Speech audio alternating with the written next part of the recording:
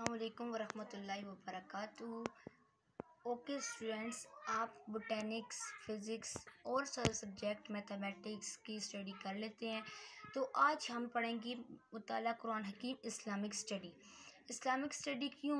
कि पहले भी स्टूडेंट्स जो थे, वो बोटेनिक्स फ़िज़िक्स इंजीनियरिंग वगैरह सब्जेक्ट पढ़ते रहे थे तो उन्होंने इस्लामिक स्टडी को फोकस नहीं किया। इस बार बोर्ड में एक न्यू सब्जेक्ट आपके पास आया है कि मुताला कुरान हकीम, के स्टूडेंट्स थोड़ा कुरान की तरफ़ भी मुतवजह हों। तो आप कंटेंट में देखें अउज़बिल्लिमिनशिकानजी बिस्मिल्लाहिर्रहमानिर्रहीम तो कंटेंट में देखें, यानी फ़हरस्त मज़ामी में तो हमारे पास फ़र्स्ट के सूर्य सूरा आ रही है सूर्य इनाम। उसका हिस्सा अव्वल दिया हुआ है हमने, जिसमें है छः आयत हैं आपके पास, आयात हैं, और आपके पास सेवेंटी थ्री रुकुआत हैं। एक से। अब सूर्य इनाम का आप तारफ़ देखें तो क्या है? शान नजूल।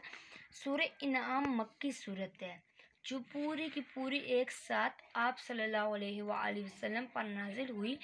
ये सूर्य इनाम आपके पास क्या है? एक मक्की सूरत है, जो पूरी की पूरी होल जो है आप सल्लल्लाहु अलैहि वसल्लम पर नाजिल हुई।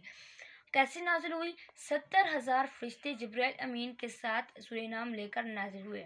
आपके पास क्वेश्चन बन रहे कि सूर्य इनाम कितनी नाजिल हुई? पूरी की पूरी नाजिल हुई। कितनी कौन से कितने फरिश्ते लेकर आए? सत्तर हज़ार फरिश्ते किसके साथ आए? जब्राइल अमीन के साथ लेकर आए। सूरत का आगाज़ किससे हुआ? सूरत का आगाज़ हमसे हुआ। इस सूरत में अकीदत तोहहीद के बारे में तफसीली गुफ्तु की गई है कि कीदा तोहद के आपके पास कलमा तैयब ला मोहम्मद रसोल्ला के अल्लाह ताला एक है और आप सल्लम अल्लाह ताला के आखिरी नबी और सरूल हैं। रसालत और आखरत के अकीदे का बयान है कि रसालत का क्या अकीदा है, आखरत का अकीदा है। क्योंकि इंसान की ये दुनिया क्या आर्जी है और जो आपके पास आखिरत का सफ़र होगा, वो सफ़र होगा, उसमें रास्ते में कोई आपको नहीं मिलेगा। बस, रिक्शा ऐसे आप एज एग्ज़ाम्पल देखें कि आप कोई मकान नहीं मिलेगा जिसमें आप कोई निकी कर सके और क्या बख्शिश हो सके आपकी। अब अब हमारे रिसालत हो गया हमारे पास। कुरान हकीम की सदाकत का खसूस ज़िक्र किया है। कुरान हकीम की सदाकत, सच्चाई, इन सब बातों पर मशरकिन के ज़्यादात के जवाब दिए हैं। ये मशरकिन जो एतराज़ात लगाते रहते थे, उनके जवाब हैं। चौथे रुकू में अब आपके पास ये आप रुकू साथ साथ पढ़ते जाएँगे, आपको पता चल जाएगा ये रुकू चौथे रुकू में अल्लाह के आज जुटलाने के, नबी के साथ गंगीन होने वाले वाक़ आते हैं, ठीक है? एंड देन आठवें रुकू में आपके पास क्या है? जिन मौफे अल्लाह की परेशानी, उसके रसूल का हँसी मज़ाक उड़ाया गया, उसकी तरफ़ है। अब नौवें रुकू में आप देखिए दसवें में जब्राइल इब्राहिम अलैहिस्सलाम का किस्सा तफसील से बयान हुआ है और सत्रह अम्बियान के नाम ज़िक्र किए गए हैं।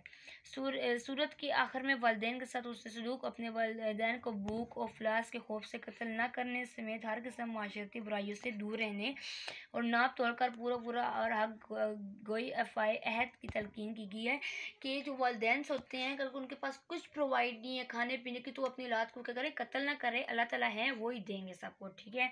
इस पे वो है कि बाप के साथ माँ बाप के साथ उसने सलूक करे और माँ बाप को चाहिए कि उनके पास कुछ खाने, वगैरह कोई चीज़ें नहीं तो वो प्रोवाइड ना हो तो वो उनको कत्ल ना करें। अब क्या है कि अब इसके बाद यहाँ पे फ़ायद की तलकिन की गई है और तफरका से बचते हुए मिनत इब्राहिम दीन इस्लाम की पैरवी का हुक्म किया है कि आप दीन इस्लाम की करें, पैरवी करें।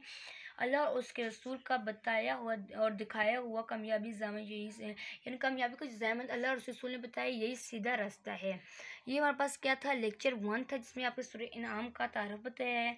अब सूर्य इनाम का तारफ़ तो बता दिया, ये दी एल फाउंडेशन वाले की बुक है। आपको जो आयात वगैरह एसलो बेस ज़्यादा मिलेंगी, वो आपको कौन से मिलेगी? अफाक्सन सीरीज़ की बुक में विच इज़ दी बुक ये ये आप इस बुक को भी परचेज़ कर लें, वो भी ठीक है, वो आप उसमें तारफ़ करेंगे और इसमें एस एल क्वेश्चन वगैरह सब कुछ होते हैं। Okay student best of like please and then I also call you कि please like and subscribe my channel